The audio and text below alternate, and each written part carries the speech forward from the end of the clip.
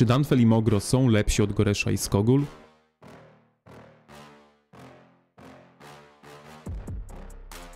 Siemanko z tej strony Anioł, witam cię serdecznie na moim kanale. Jak wiecie, jakiś czas temu dostaliśmy nowych bohaterów piechoty, Mogro oraz Danfela. Przejrzałem trochę raportów, widziałem ich w akcji, także nadszedł czas, aby powiedzieć, co o nich sądzę. Ale zanim przebrniemy przez jego umiejętności, zapraszam do pozostawienia łapki w górę, suba, jeśli jeszcze tego nie robisz. No i bez przedłużania, przejdźmy do umiejętności. Umiejętność numer 1, cios tarczą, zapewnia Legionowi tarczę o współczynniku 600 oraz zadaje obrażenia wybranemu Legionowi o współczynniku 1600. Czas trwania tarczy 3 sekundy. Jeśli chodzi o same obrażenia, są naprawdę spore. Na tle bohaterów, których obecnie mamy jedne z największych obrażeń. Tarcza natomiast jest całkiem niewielka, ale wiadomo, zawsze tę przeżywalność trochę zwiększy. Ale myślę, że nie taki jest jej główny cel. Co ważniejsze, otrzymanie tarczy potrafi striggerować artefakty i myślę, że ten bohater będzie mógł wykorzystać niektóre z nich, co jest ogromnym plusem tego bohatera. Ogólnie jego umiejętności są dosyć uniwersalne, zadziałają również, gdy damy go do kawalerii, dlatego moja ocena tutaj to 5 z minusem, bo robiąc jednego bohatera mamy tak naprawdę bohatera do dwóch jednostek, do kawalerii oraz do piechoty i naprawdę w kawalerii sprawdzi się dosyć dobrze, dlatego piątka z minusem za uniwersalność. Umiejętność numer 2 Egida Greymara, przebywając w terenie Legion i sojusznicze legiony, zanim zyskują litość na 3 sekundy co 10 sekund. Litość to redukcja odnoszonych obrażeń dystansowych o nawet 20%, legiony pod wpływem wzmocnienia 3, to znaczy, że jeden legion z Danfelem i dwa legiony sojusznicze. Efekt aktywuje się raz na 10 sekund. Tutaj nie ma co dużo gadać, jest to umiejętność bardzo drużynowa. Wydaje się być dobra w przypadku, gdy takich Danfelów będziemy mieli czterech, bo wtedy istnieje szansa, że gdy aktywujemy tę umiejętność jedna po drugiej, bonus do redukcji obrażeń dystansowych powinien się utrzymywać nawet przez 100% walki. Oczywiście jest to czysto teoretyczne, w takiej sytuacji ten skill wydaje się być naprawdę mocny, no i największą siłą tej umiejętności jest to, że możemy wzmocnić sojusznicze legiony piechoty. Ta umiejętność pomaga utrzymać dłużej zdrowe legiony, przez co taki Goresz i Skogul, którzy dostaną to wzmocnienie będą zdrowsi, co zaowocuje nam większymi obrażeniami, to z kolei lepszymi raportami. Jest to skill bardzo nastawiony na wspieranie. W naprawdę dużych wojnach kilku Danfeli może nam tę przeżywalność zwiększyć w znaczny sposób. Ale ogólnie jest to taki sytuacyjny skill, no bo do takiego 1 na 1 nie jest to za mocne. Jeśli chodzi o użyteczność tego skilla dla przymierza, naprawdę potężny. Ale z drugiej strony, jeśli chodzi o użyteczność tego skilla dla naszego Legionu Stricte, jest po prostu ok. Dlatego dam tutaj piątkę z minusem. Umiejętność numer 3. Towarzysze broni. Wszystkie jednostki piechoty z Legionu zyskują 10% obrony jednostek piechoty oraz 20% HP jednostek piechoty. Czyste, twarde statystyki do tego HP i obrona. Nic lepszego nie można sobie wymarzyć. Bardzo mocna piątka. Umiejętność numer 4. Furia Niziołków. Gdy Legion używa ciosu tarczą, czyli naszej umiejętności wpadania w szał, wybrany Legion na 6 sekund znajduje się pod wpływem bezwładu i spowolnienia. Bezwład cel odnosi 20% więcej obrażeń od naszego Legionu, w którym znajduje się Danfel, no i spowolnienie również wynosi tutaj minus 20% prędkości marszu. Gdyby to były obrażenia od wszystkich Legionów, Oczywiście dałbym tutaj szóstkę nawet, ale w wypadku, gdy tylko Legion z Danfelem zadaje zwiększone obrażenia o 20%, no tutaj wydaje się to być zdecydowanie słabsze. Jeśli pomyślimy nad tym trochę dłużej, wydaje się być to bardzo dobry skill dla jednostek kawalerii, a zdecydowanie lepszy dla jednostek kawalerii niż dla jednostek piechoty. Oczywiście piechota też z tego skorzysta w jakimś stopniu, na przykład jak wbiegniecie Danfel plus Mogro gdzieś w jednostki dystansowe, ale kawalerią zdecydowanie łatwiej jest kogoś przechwycić i wykorzystać 100% potencjału tej umiejętności. Wyobraźcie sobie, że na przykład taki urak zadaje o 20% większe obrażenia. Chyba nie trzeba tego komentować. Jeśli ocenialibyśmy tę umiejętność dla jednostek kawalerii, dałbym tutaj nawet piątkę. Natomiast moim zdaniem piechota aż tak nie skorzysta z tej umiejętności na open fieldzie, bo w 80% przypadków zatrzyma nas wroga piechota. Na wroga piechota ma dużo pancerza, dużo życia, więc nawet jeśli zwiększymy nasze obrażenia o 20%, nie będziemy bili tej wrogiej piechoty jakoś mocno. Jeden z kilku scenariuszów, w którym ta umiejętność byłaby ok nawet na jednostkach piechoty, to to właśnie gdybyśmy wybiegli jakoś w jednostki dystansowe, ale wtedy dostaniemy naprawdę potężny fokus i szybko zginiemy, więc takie zagranie również się wiąże z jakimś ryzykiem. Moim zdaniem bardzo sytuacyjny skill, żeby dać tutaj piątkę, zbyt sytuacyjny. Być może na garnizonie te 20% więcej otrzymywanych obrażeń będą bardzo pomocne, ale na open fieldzie może być naprawdę ciężko wykorzystać tę umiejętność. Dlatego tutaj, żeby nie było za kolorowo, za umiejętność dam trójkę. Moim zdaniem zdecydowanie słabsza od poprzednich wszystkich umiejętności. Ale oczywiście, tak jak mówię, są sytuacje, w których będzie to bardzo dobra umiejętność, ale ogólnie nie jest to jakaś przepotężna, zmieniająca tego bohatera w Terminatora umiejętność. Przejdźmy dalej, zerknijmy na jego przebudzenie, runa determinacji, zadanie obrażeń Legionowi pod wpływem furii niziołków, Furia Niziołków to jest właśnie umiejętność czwarta, która aktywuje się po wpadnięciu w szał. No i gdy zaatakujemy taki legion pod wpływem Furii Niziołków, wydłuży czas trwania bezwładu oraz spowolnienia o jedną sekundę. Ten efekt można aktywować raz na dwie sekundy. No i znowu tutaj mamy przebudzenie, które wzmacnia najsłabszą umiejętność moim zdaniem. Przebudzenie pozwala nam wydłużyć te debuffy z 6 sekund do 9 sekund. Na open fieldzie można się spokojnie obejść bez tego, bo gdy dostajemy fokus, gromadzimy naprawdę dużo szału, a wtedy rzucamy umiejętnościami nawet co 7-6 sekund, różnie. Na otwartym polu nawet bez wydłużania tego czasu ten efekt będzie praktycznie aktywny przez całą walkę. Może na garnizon się przyda, ale tutaj na Open Field, a pod tym względem oceniamy bohaterów na tym kanale. Nie mogę dać lepszej oceny niż jeden. Moim zdaniem to przebudzenie jest totalnie bezużyteczne. Podsumowując, Danfel zdobył 19 na 25 punktów, jest to 76%, co daje nam ocenę dobrą. Jakbym miał go krótko opisać, to Danfel jest bohaterem uniwersalnym. Można spokojnie go wyciągnąć do jednostek kawalerii, można go wyciągnąć do jednostek piechoty. Rozwijając tego bohatera macie tak naprawdę postać do dwóch rodzajów jednostek, co jest moim zdaniem dużym plusem.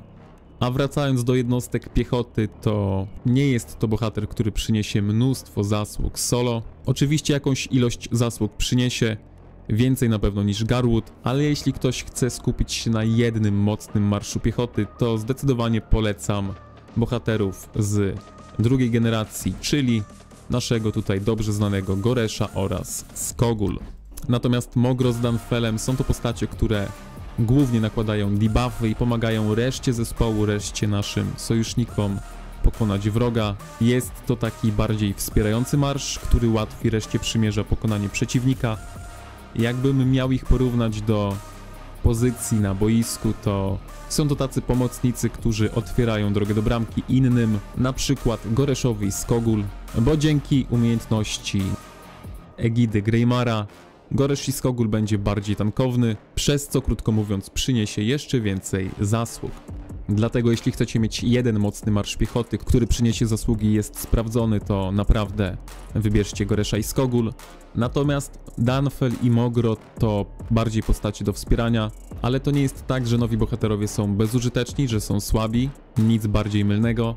Przymierze, które posiada Danfel oraz Mogro w swoim składzie na pewno będzie miało lepsze wyniki, no bo jest to gra drużynowa. Te postacie naprawdę potrafią wzmocnić nasze jednostki, oraz osłabić jednostki przeciwnika w znaczącym stopniu. Podejrzewam, że w takiej kontrolowanej wojnie, w której mielibyśmy 10 legionów piechoty złożonej z Goreszów i Skogul i po drugiej stronie mielibyśmy również 10 legionów, tylko tym razem na przykład mielibyśmy 6 legionów Goresza i Skogul i 4 legiony Danfela oraz Mogro. Oczywiście na tyłach mielibyśmy strzelców oraz magów, którzy będą te piechoty wspierali i jestem święcie przekonany, że strona z Danfelem oraz Mogro wypadłaby w takiej walce lepiej. Przygotowałem dla Was dwa standardowe drzewka, jedno pod tanka oraz PvP, Drugie będzie takie bardziej pod kontrataki, bo wiemy, że Marsz, Danfel, Mogro tych kontrataków za wiele nie mają.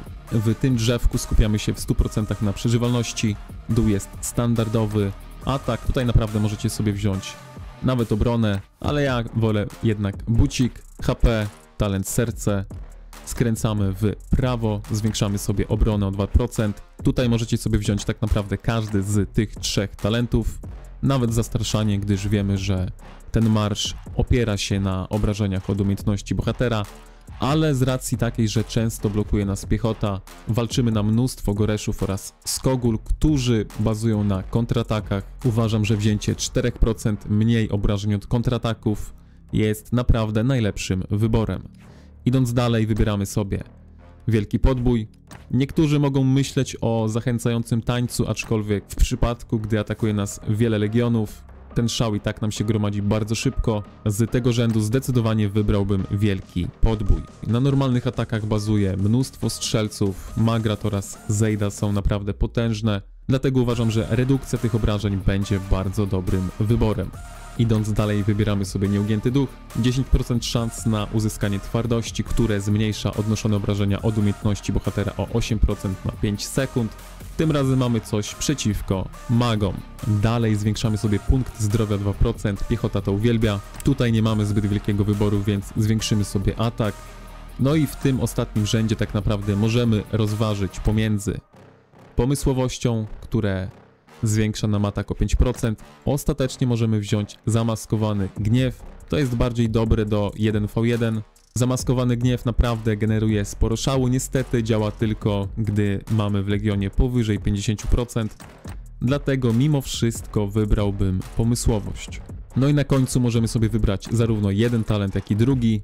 Wiemy, że Danfel oraz Mogro nie mają survi, dlatego witalność naprawdę nie jest złym wyborem ale ja tutaj wybrałem taki klasyczny talent dla piechoty. Twój legion odnosi 8% mniej obrażeń od normalnego ataku, gdy liczba jego jednostek spada poniżej 50%. Strzelców w sezonie, w którym jestem, nie będzie brakowało, szczególnie, że mamy zwiększony zasięg kosztem ataku. Dlatego zmniejszenie obrażeń o kolejne 8% myślę, że jest naprawdę dobrym wyborem. Pamiętajcie, że zwiększenie zasięgu strzelców kosztuje ich 20% podstawowego ataku, więc jeśli dobrze to rozegramy i zmniejszymy obrażenia od normalnych ataków, strzelcy powinni się wręcz zabijać o nasze jednostki piechoty. Może niekoniecznie o Danfela oraz Mogro, gdyż ten marsz nie posiada wysokiego kontrataku, ale to jest taka wskazówka dla Goresza i Skogul. Ale wróćmy do naszego drzewka, dalej idziemy w ogólny atak. Tutaj możecie sobie wziąć obrony, ale myślę, że 2% obrony to jest trochę mało, tutaj mamy aż 10% ataku, więc całkiem przyjemny bonus. Zwiększamy sobie HP, HP jest najlepszą statystyką. A dalej szczęśliwy los, który jest naprawdę świetnym talentem. Przeprowadzając kontratak w terenie, twój legion ma 10% szans na zmniejszenie wszystkich odnoszonych obrażeń o 3%. Wystakować ten talent jest naprawdę szybko. No i ostatni punkt dałbym w 1% obrażeń od kontrataków. Ogólnie ktoś jak na to spojrzy pomyśli, że drzewko jest bardzo defensywne, ale naprawdę zwiększając przeżywalność naszego marszu, zwiększamy jego zdrowie, co za tym idzie zwiększamy jego obrażenia. Drzewko numer dwa jest lekko podkręcone, ale główna idea tego drzewka jest taka, że tutaj idziemy w 100% kontrataków, jakie mamy do dyspozycji. Nie będę się tutaj rozpowiadał, bo jest to mój prototyp, ale jak widzicie tutaj mamy 5% do kontrataku, Tutaj mamy 4% do kontrataku i całość wygląda w ten sposób. Tutaj również decydujemy się na przeżywalność, ale tym razem zwiększamy również nasze kontrataki oraz ogólne obrażenia. Tutaj tak naprawdę wszystkie talenty są fajne, użyteczne, no i stawiamy tutaj na to, czego brakuje temu marszowi, czyli wspomniane wcześniej kontrataki.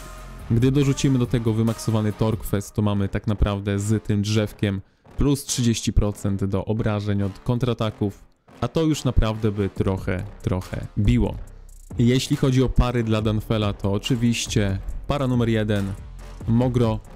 Jest tutaj pewna zależność między tymi bohaterami, otóż druga umiejętność Mogro transferuje ten bonus do obrażeń z jednego na trzy legiony, dzięki czemu nawet jeśli zatrzymamy się na wrogiej piechocie, to ta wroga piechota otrzyma zwiększone obrażenia.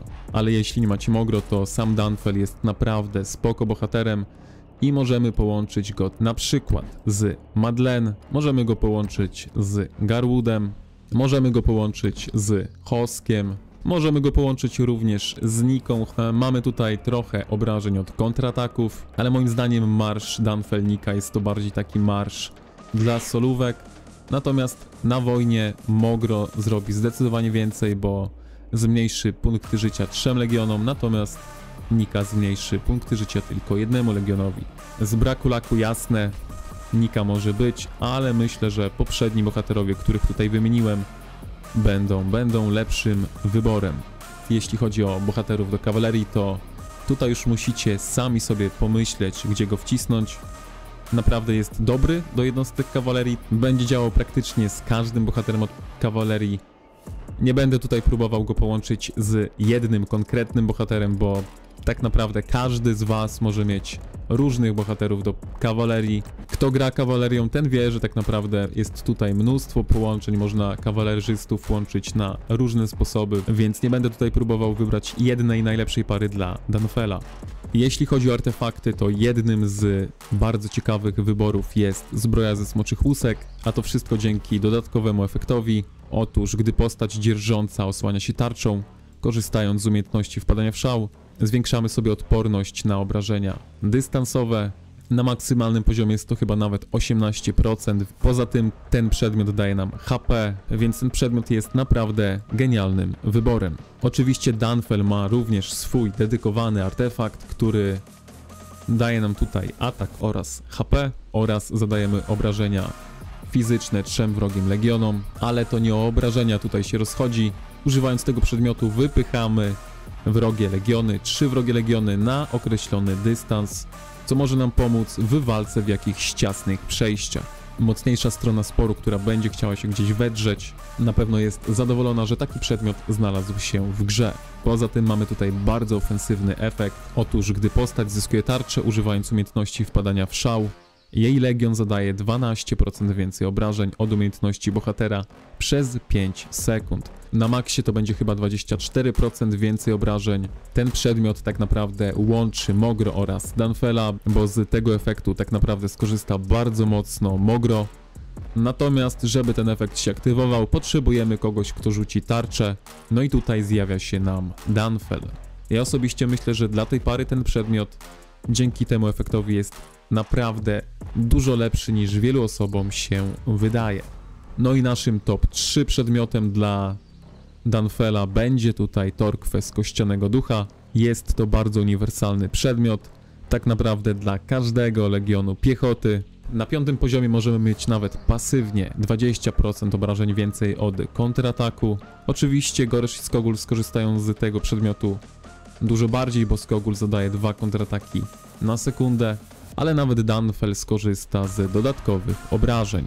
Poza tym efekt tego przedmiotu jest wszystkim dobrze znany. Przez 3 sekundy zmuszamy maksymalnie 5 legionów do ataku na nasz legion.